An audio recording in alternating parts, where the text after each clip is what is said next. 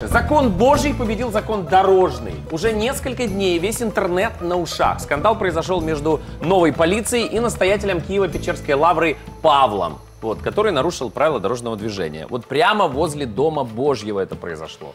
Понимаете? И сделано это разъезжая на совершенно земном автомобиле марки Mercedes-Benz. Чому наш Сергій Гаранський у цій анекдотичній ситуації не зрозумів поліцейських? Дивіться разом з нами. Автомобіль це не блаженство, а засіб пересування. Про свіжий скандал між владикою Павлом та поліцією чули всі. Наші нові патрульні зупинили автівку священника на в'їзді до лаври, бо вона, начебто, порушувала правила дорожнього руху. Павло із нахабністю їх відшив.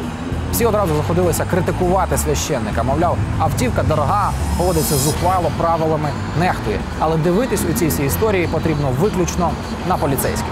Владика Павло ніколи не вирізнявся чемністю, скромністю та вихованістю. Скандали тягнуться за ним роками. Ось найяскравіший його зальот. Присилайте людей, а не жовторотиків. Ти прийшов як бомж. Ви як бандити. Це просто, знаєш, невежди, яких свідче не бачиш. Ти душевно хвора людина. Але ж наша поліція мала стати новою, і вона, наче, стала такою. Рішучі такі хлопці, на перший погляд, ладні на все заради дотримання закону на вулицях Києва.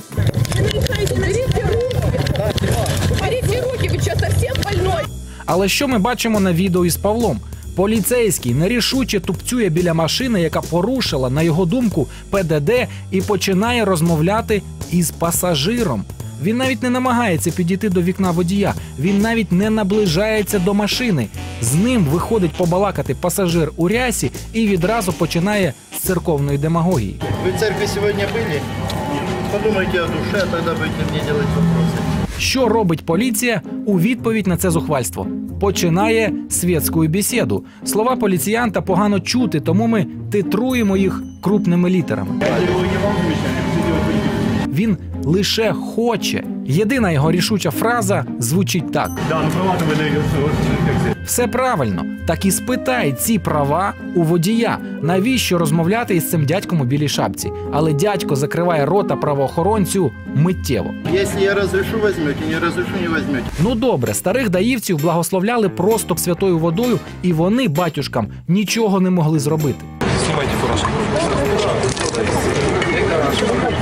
Але ж це нові хлопці і дівчата, які мають змінити країну, і перед ними очевидна проблема. Попередні даївці неабияк загартували звичайного українського водія. Люди повивчали правила та закони, навчилися боронити себе і відповідати на нахабство працівника із жезлом. Выходите с машин. Зачем? Зачем? В смысле зачем? Затем, что вы не останавливаетесь работникам ГАИ. Ну давайте посмотрим, вы работник ГАИ? Кому? Кто должен смотреть? Ну я посмотрю. На данный момент сейчас мы будем рассказывать вам, что делать. Після років такого спілкування навіть священник знає, як постояти за себе, навіть якщо він порушив. А новий полісмен із своєю ввічливістю перед цим практично беззахисний. І це ще їм повезло, що священник їхав на пасажирському місці, а не за кермом і приблизно у такому стані. Вам тяжело даже встать, да, настолько вы пьяны? Я... Я пьяный. Может быть, вы пьяные?